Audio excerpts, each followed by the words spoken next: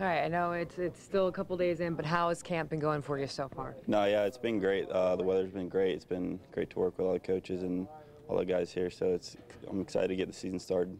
There's been a lot of talk about you kind of being a bubble guy, maybe competing for that fifth rotation spot. How are you taking that this camp, and what are you hoping to prove? Yeah, I'm just trying to uh, enjoy it and work hard and make some pitches and uh, just have a good time down here in Florida. So yeah, I'm excited for um, the spring and excited to keep keep pitching. What is uh, one of your strengths, something that you think that you can really show to Snit and the guys that you're ready to make the major league roster? Yeah, I, I just think um, I can command all my pitches and uh, execute, execute pitches when I need to. So I'm excited to go out there and face hitters and show what I can do.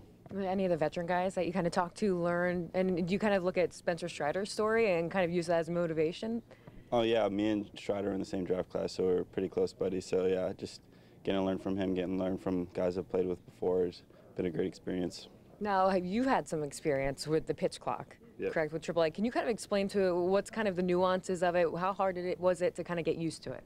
Yeah, I mean I've always kind of worked quick, so um, it was kind of not too much of adjustment. Um, but I think as the season gets going, guys will get more used to it and uh, just kind of be a, a habit.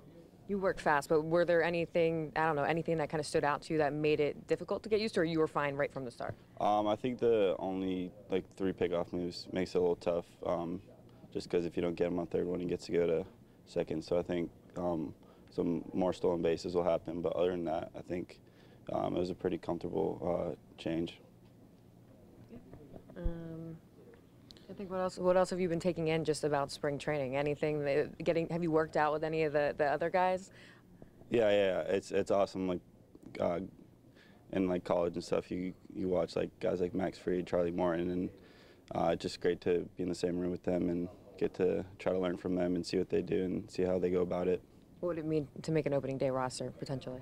Uh, I mean everything. That's a something you dream dream of. So yeah, hope, hoping to show what I can do.